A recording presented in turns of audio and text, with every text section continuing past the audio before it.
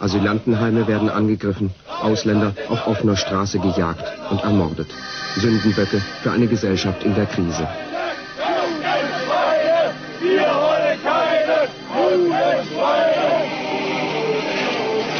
Deutschland den Deutschen! Ausländer raus! Wahnsinn ist sowas. Die jungen Menschen, die hier aufgewachsen sind, wie können die bloß irre sein und durchs Zeug reden?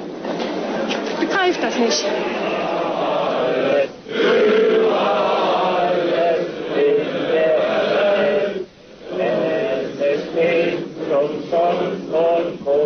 Kühnens Nachfolger kommt aus Wien. Er ist Österreicher und kriminell, genau wie Hitler. Wegen Nazi-Aktivitäten erwartet er ständig Gerichtsprozesse. Gottfried Küssel zaudert nicht zu erklären, wen er in ein Konzentrationslager schicken würde, falls er an die Macht käme. Ich glaube, die komplette Regierung einmal. Weil es ist vollkommen klar, alle jene, die dieses System am Leben erhalten haben, dieses falsche System, da muss einmal klar gemacht werden, wo der Fehler gelegen hat. Seit wann bist du in der NSDAP Aufbauorganisation?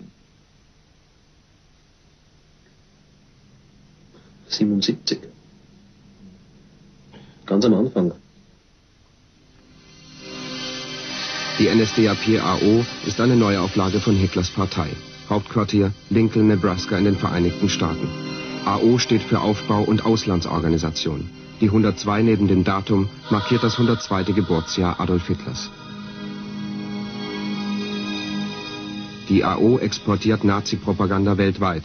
Die Organisation gleicht einem Geheimbund, abgeschottet durch ein Zellensystem, das polizeiliche Infiltration praktisch unmöglich macht. 8. Bitte für der 8 der Abfertigung bedienen.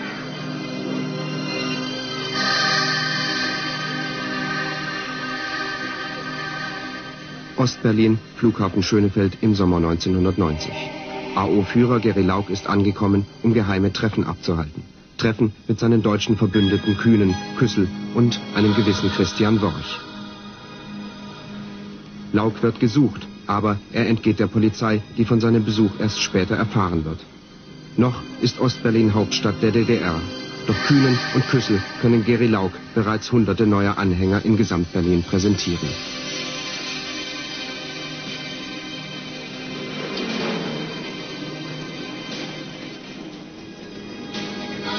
Lauk hat Verbindung zu Terroristen in den Vereinigten Staaten und zu Nazi-Aktivisten weltweit.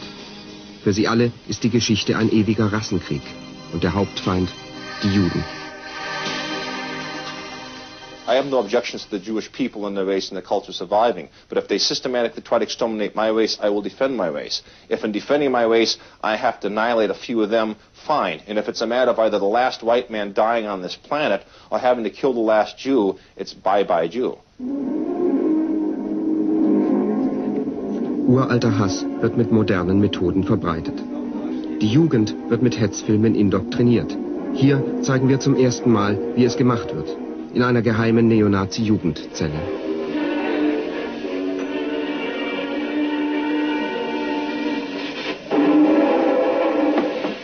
Angeblich gebietet die Juden ihre sogenannte Religion nur geschächtetes Fleisch zu essen. Sie lassen deshalb die Tiere bei lebendigem Leibe verbluten. Die Ratten begleiten als Schmarotzer die Menschen von seinen Anfängen an. Ihre Heimat ist Asien. Von dort aus wandern sie in riesigen Scharen über Russland und die Balkanländer nach Europa. Dr. Mengele. Wo Ratten auch auftauchen, tragen sie Vernichtung ins Land, zerstören sie menschliche Güter und Nahrungsmittel. Auf diese Weise verbreiten sie Krankheiten, Pest, Lepra, Typhus, Cholera, Ruhr und so weiter.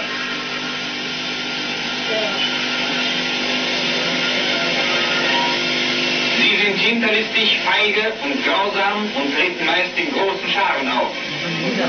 Sie stellen unter den Tieren das Element der heimtückischen unterirdischen Zerstörung dar. Nicht anders als die Juden unter den Menschen.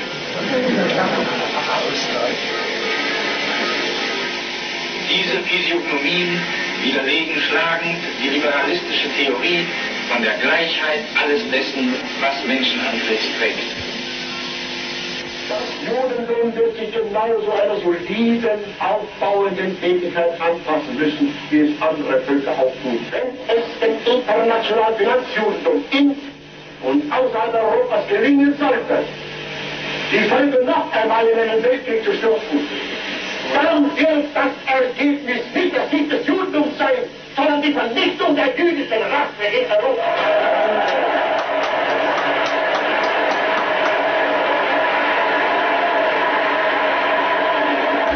Isn't the, the Holocaust exactly what Hitler wanted? No. But Hitler spoke repeatedly of the extermination and annihilation of the Jews. No. He spoke about this, the end of the Judentums in Europa. And this is exactly the same what I support.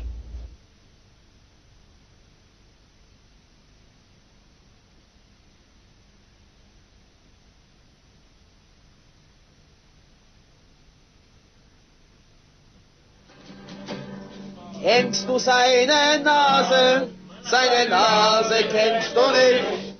Ist sie krumm und hässlich, rühr und schlag ihm ins Gesicht. Das ist ein Mensch, das ist ein Jud. Und ihm nach Dach, mach ihn kaputt. Das ist kein Mensch, das ist ein Jud. Denk nicht lang nach, denk nicht lang nach, mach ihn kaputt.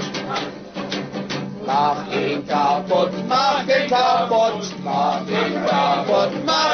ihn kaputt. Kennst du seine Farbe? Seine Farbe kennst du nicht. Ist sie schwarz und hässlich, na ja, dann schlag ihm ins Gesicht. Das ist kein Mensch, das ist ein Ab. Denk nicht lang nach, mach einfach paff, das ist kein Mensch, das ist ein Ab. Denk nicht lang nach, denk nicht lang nach, mach einfach paff.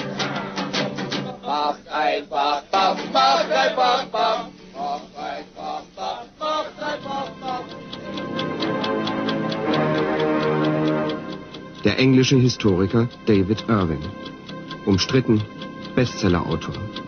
Seine Bücher verkaufen sich millionenfach auf der ganzen Welt.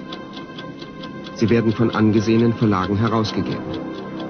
Ullstein in Deutschland, Legenda in Schweden und Macmillan in England. Die Deutsche Volksunion. David Irving neben Dr. Gerhard Frey, dessen Partei neuerdings im Landtag von Schleswig-Holstein vertreten ist. Irving tritt schon seit langem auf Veranstaltungen von Gerhard Frey auf. Die Deutschnationalen waren eine gute Einnahmequelle für den Engländer. Aber David Irving beschränkt sich nicht nur auf die Zusammenarbeit mit Gerhard Frey. München, 21. April 1990. Ein Tag nach dem Geburtstag Hitlers. Der Löwenbräu-Keller.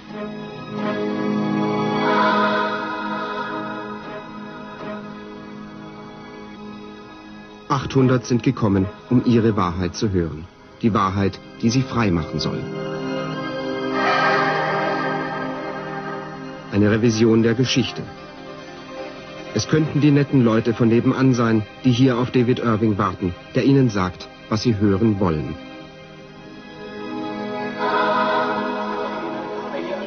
in Dachau in den ersten Nachkriegsjahren eine Attacke war, sind die, die Gaskammeranlagen, die man jetzt als Tourist in Auschwitz sehen kann, von den Behörden in, in, in Polen nach dem Zweiten Weltkrieg errichtet worden. Die Beweise liegen vor, die Anlagen sind chemikalisch untersucht worden. Die Dokumente haben wir jetzt in der ganzen Welt veröffentlicht darüber. Und ich kann Ihnen sagen, meine Damen und Herren, das wirbelt einen Staub auf. Da wird unseren Feind das Hören und Sehen vergehen. Denn Sie haben ja dafür...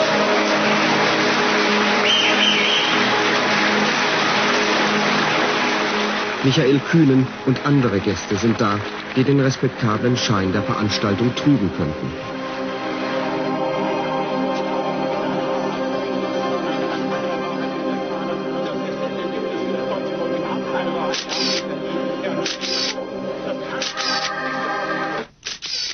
Eine lebende Legende und Held in Neonazi-Kreisen. Otto Ernst Rehmer. Er war Sicherheitsberater des ägyptischen Potentaten Gamal Abdel Nasser betrieb Waffenhandel mit Syrien.